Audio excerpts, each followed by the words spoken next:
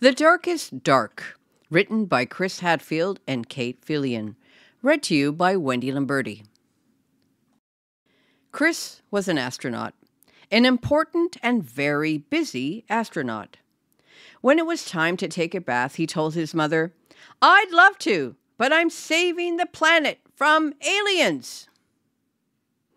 When it was time to get out of the bath and go to bed, he told his father, politely, because astronauts are always polite, Sorry, no can do. I'm on my way to Mars. An astronaut's work is never done, so astronauts do not like to sleep. But their parents do. You're a big boy now, said Chris's father. You have to sleep in your own bed. And Chris tried. He really did. But his room was dark. Very, very dark. The kind of dark that attracts the worst sort of aliens. But his parents meant it. Chris was going to sleep in his own bed tonight.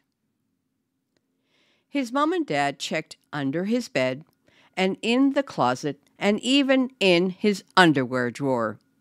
They declared the room 100% alien free. They tucked Chris in. They turned on the nightlight.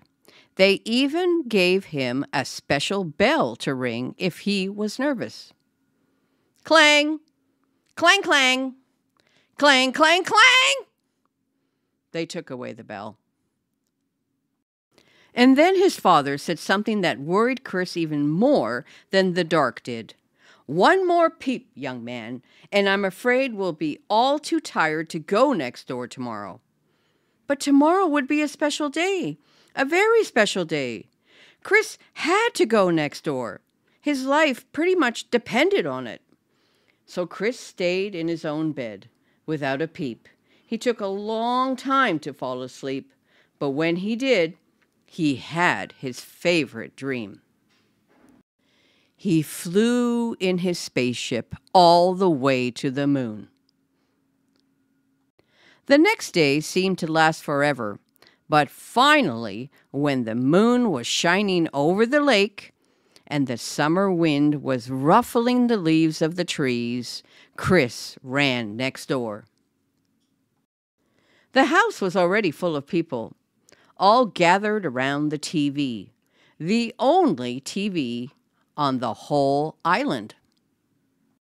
Chris found a spot where he could see through the crowd, and what he saw was astronauts, real, live astronauts on the actual faraway moon.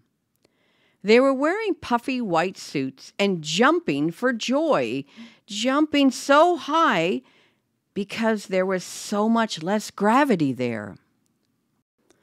The grown ups huddled around the TV were amazed. Their whole lives long, they'd never expected to see this sight. Even Chris, who had been to the moon just the night before, was amazed. They never really noticed how dark it was there.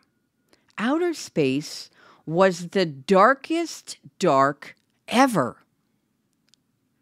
That night, Chris did a little experiment. He turned off all the lights in his room, even the night light. It was still dark. Very, very dark. There were still shadows that looked a little, well, alien. Nothing had changed. But Chris had changed. He'd seen that the darkness of the universe was so much bigger and deeper than the darkness in his room. But he was not afraid. He wanted to explore every corner of the night sky. For the first time, Chris could see the power and mystery and velvety black beauty of the dark. And he realized you're never really alone there. Your dreams are always with you, just waiting. Big dreams about the kind of person you want to be. Wonderful dreams about the life you will live.